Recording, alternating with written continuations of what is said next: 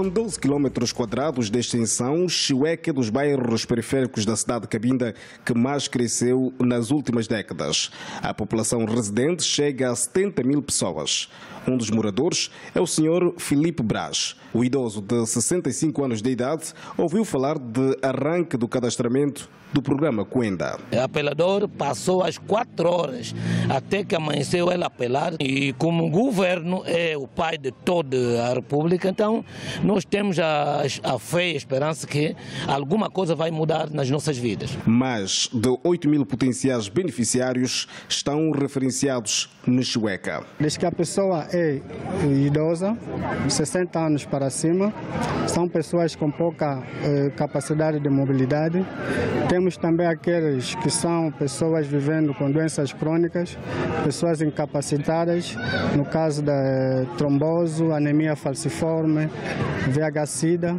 Temos também pessoas vivendo com albinismo e pessoas com deficiência. Esses são os critérios que foram determinados para o Cuenda urbano na modalidade eh, do município sede. A coordenação do bairro canta vitória pela chegada do Cuenda, pois nos seus registros constam mais de 8 mil pessoas em situação de vulnerabilidade. Cuenda para nós aqui no Chueca é bem-vindo, porque veio de certa maneira ajudar algumas famílias vulneráveis, foram bem localizadas, identificadas por nós.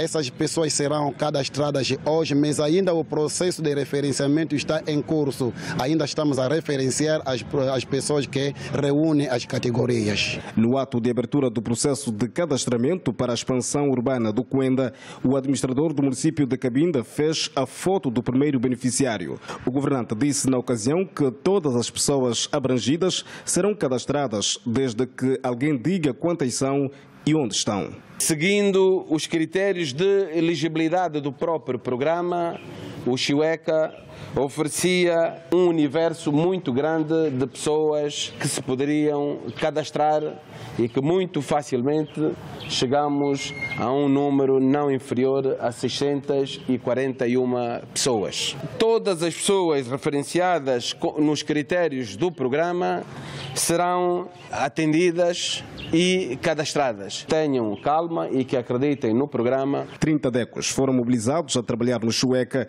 com a equipa técnica do Centro de Assistência Social Integrado. O Coenda espera cadastrar mais de 34 mil beneficiários na zona urbana de Cabinda. Mais de 3 mil milhões de kwanzas é o valor disponível para esta fase de transferências sociais monetárias.